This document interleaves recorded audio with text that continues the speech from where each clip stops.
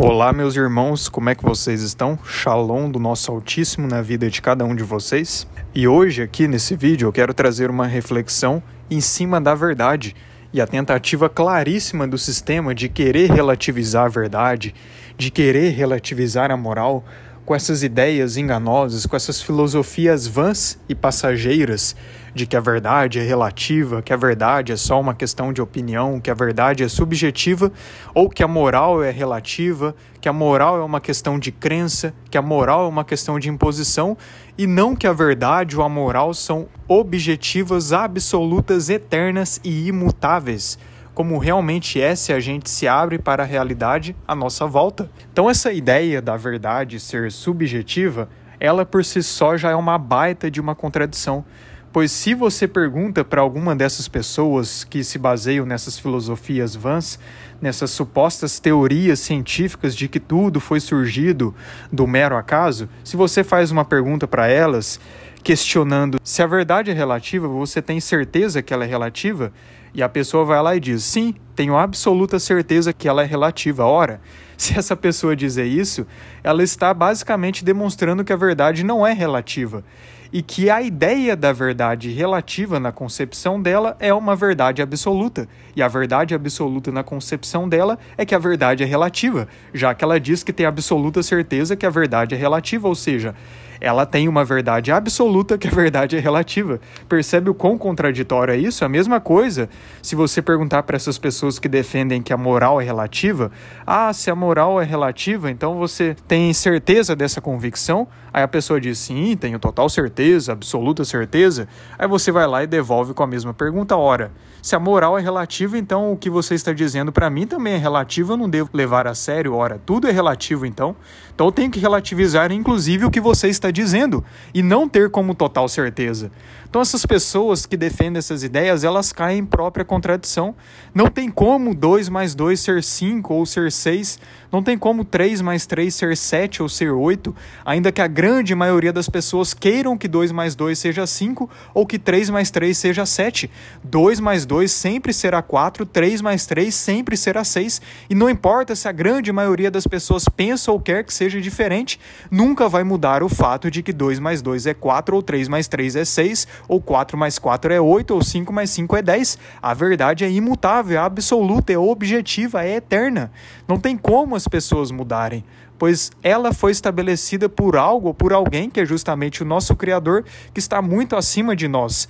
Ele é que estabeleceu todas essas leis, ele que estabeleceu a verdade como universal, objetiva e absoluta e nós jamais podemos mudar algo que o nosso próprio Criador estabeleceu e que ele mesmo escolheu se sujeitar àquilo que ele estabeleceu. E essa verdade é revelada plenamente para todos nós através do nosso Messias, Jesus Yeshua, pois ele é o único caminho que nos leva de volta ao Pai. Ele mesmo falou: Eu sou o caminho, a verdade e a vida, e ninguém vem ao Pai senão por mim. E conhecereis a verdade, e a verdade vos libertará. Ele afirmou que ele é a verdade, ele é esse caminho, ele é essa solução, ou seja, tudo aquilo que vem diretamente dele é a verdade, é a manifestação da verdade. E tudo aquilo que se opõe aos seus ensinamentos é mentira. Desvia do Messias, desvia daquilo que ele veio trazer. Ou seja, toda a mensagem que o Messias veio trazer é a verdade plena e absoluta revelada para todos nós. Então ele trouxe para nós qual é a solução, qual é o caminho, qual é a realidade, como ela verdadeiramente é, qual é a solução para nossas vidas. Ele trouxe todas essas respostas, de onde nós viemos, quem nós somos, para onde vamos. Ele é quem nos faz compreender qual é o nosso propósito e ele nos guia para que a gente cumpra o nosso propósito aqui nessa realidade, que é justamente copiar o exemplo dele, seguir o exemplo dele e nele perseverar e ser fiel até o fim. Essa é a solução para nossas vidas, é esse o caminho que todos nós devemos trilhar, o caminho que vai nos levar de volta ao Pai.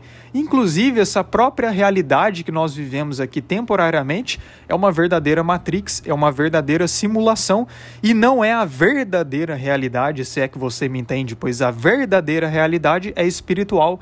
O nosso verdadeiro eu não é carnal, não é de matéria, ele é espiritual, nós somos almas viventes. Então, tudo que é colocado hoje com essas concepções enganosas, com essas teorias mentirosas de que tudo é coincidência, que tudo é aleatório, que o nada gerou tudo, isso não existe, é ilógico, é totalmente contra a verdade universal e absoluta, que é justamente o Pai que trouxe através do Filho, através do Messias, que é o caminho que vai nos levar de volta para Ele. E ainda discernindo sobre esse argumento errôneo de que a moral é relativa, é muito simples de perceber que ela não é relativa.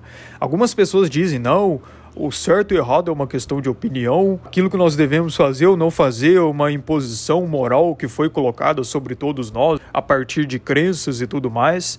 Mas é interessante que as mesmas pessoas que dizem isso, se elas serem questionadas que roubar é errado, que trair é errado, que tirar a vida de uma pessoa é errado, elas vão dizer sim, é errado. Ué, se é errado, da onde que surgiu isso?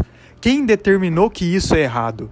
E por que que quem faz isso faz as ocultas, não é mesmo? Você percebe que a grande maioria das pessoas que sabem discernir o certo e errado, que têm um pouco de empatia, que não são psicopatas, se elas cometem tais transgressões, tais crimes, elas sempre dão um jeito de fazer as escondidas e geralmente não admitem que fizeram essas coisas. Por exemplo, uma pessoa que adultera, que trai o seu cônjuge, você vê que ela faz as escondidas, você vê que ela nega que fez isso. Por que será isso, não é? Se a moral fosse só relativa, por que, que a pessoa ela sente uma culpa interior ao cometer essas transgressões, ao cometer esses atos? Será que não é porque a própria lei moral intrínseca dentro dela não acusa a transgressão que ela cometeu e que todos nós temos essa lei moral dentro de nós, que inclusive Paulo falou acerca disso? Aqueles que não têm a lei, né, que não receberam a Torá do Criador, pela lei do seu interior serão julgados. Ou seja, todos nós temos uma lei interior, um discernimento daquilo que é certo e errado, um senso de moral. Isso está dentro de nós porque todos nós temos isso e o próprio Pai foi quem colocou em nós. E esse senso de moral, quando seguimos a nossa intuição, quando damos abertura para o Espírito nos manifestar, para nos revelar a sua verdade, nós conseguimos seguir aquilo que é certo, aquilo que vai nos levar para o caminho melhor, aquilo que vai nos levar para o caminho que nos concede a vitória e não o caminho que nos concede a derrota e a condenação. Inclusive, há casos de tribos indígenas que não sofreram, vamos dizer, uma suposta manipulação, como muitos intitulam aí, foram criados ali no meio do mato, não tiveram nenhum condicionamento e mesmo assim eles têm regras, têm princípios e justamente envolvem essas leis de não trair, de não roubar, de sempre preservar pela vida do outro, de sempre ajudar ao outro, de sempre se manter leal aquele que é da sua tribo, sempre respeitar o líder da sua tribo. De onde será que vem isso? Para pessoas que vivem ali no meio do mato, que não sofreram esse condicionamento, é muito simples. É a lei moral que está intrínseca dentro de cada pessoa. Inclusive nessas tribos, quem transgride essas leis sofrem punições severas, só demonstrando que eles têm ali uma base, que eles têm ali um princípio que não vem diretamente deles, no sentido de que eles herdaram de alguém. Alguns sim podem ter herdado dos antigos hebreus, mas outros a gente percebe que está de acordo com a lei moral intrínseca dentro de cada um. E é isso que todos nós temos. E quando a gente segue essa lei moral, quando a gente segue esse parâmetro daquilo que é certo e errado, fazendo o que é certo, a gente se aproxima da verdade plena e absoluta, revelada principalmente através do nosso Messias, onde ele demonstrou que o amor é a base de tudo, o amor ao nosso Pai e o amor ao nosso próximo. E é muito simples de perceber que quando a gente faz o bem, quando a gente serve ao próximo, quando a gente ama a nós mesmos, quando a gente faz a vontade do Pai, melhor é para nossas vidas, melhor é para toda a realidade à nossa volta. É por isso que quando a gente se submete a essas leis celestiais, eternas e universais, tudo fica em harmonia. E quando há uma quebra, uma violação dessas leis, acontece a desordem, acontece o caos. É por isso que este mundo aqui é um verdadeiro caos, porque é o oposto do segmento e da harmonia dessas leis universais. Mas a partir do momento que as pessoas decidem seguir essas leis universais, tudo começa a ficar em harmonia. Ainda que nessa realidade a gente não presencie tudo, na glória vindoura tudo será recompensado. E nós voltaremos a ver o que verdadeiramente é viver em harmonia. Afinal, todos nós um dia vivenciamos tudo isso.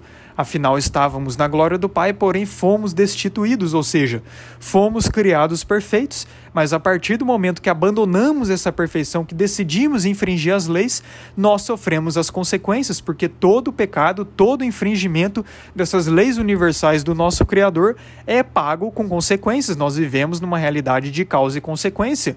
Não tem como você plantar batata e você colher maçã, não tem como você plantar espinheiro e colher uva. Você vai colher exatamente aquilo que você plantar, é a lei da semeadura. Por isso que todos nós atualmente estamos debaixo dessa condição, mas se decidimos fazer o bem, se decidimos verdadeiramente amar, seguindo o exemplo do Messias, que é o verdadeiro exemplo do amor, nós vamos vencer, nós vamos voltar para casa. E aí nós vamos caminhar cada vez mais para a compreensão absoluta do que é a verdade, revelada através do nosso Redentor. Mas é isso, foi essa reflexão que eu queria trazer aqui. Então é perceptível os enganos né, que são colocados para todos nós, mas não tem como refutar a verdade. Ainda que a grande maioria das pessoas não queiram seguir a verdade e não sigam o padrão de moral, a moral sempre será absoluta, o padrão de moral sempre será um só. O certo é certo mesmo que ninguém esteja fazendo, e o errado é errado mesmo que todo mundo esteja fazendo. E a verdade sempre será verdade mesmo que ninguém esteja seguindo ela. E a mentira sempre será mentira mesmo que todo mundo esteja seguindo ela. Nunca será mudado, pois foi algo estabelecido pelo nosso próprio Criador. É isso, shalom a todos e desejo que o Eterno os abençoe grandemente.